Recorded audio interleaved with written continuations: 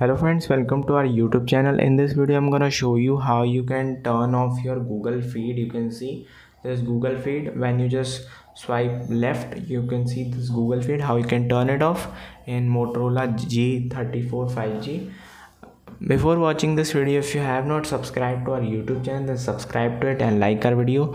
So let's start friends. First open just long press this home screen and go to app settings home settings and then there is a swipe access and click on nothing. Press back you can see the google feed is gone. There is no google feed is showing on the left hand side. I hope you like this video. If you like this video then subscribe to our youtube channel for more helpful tips and tricks videos. Thanks for watching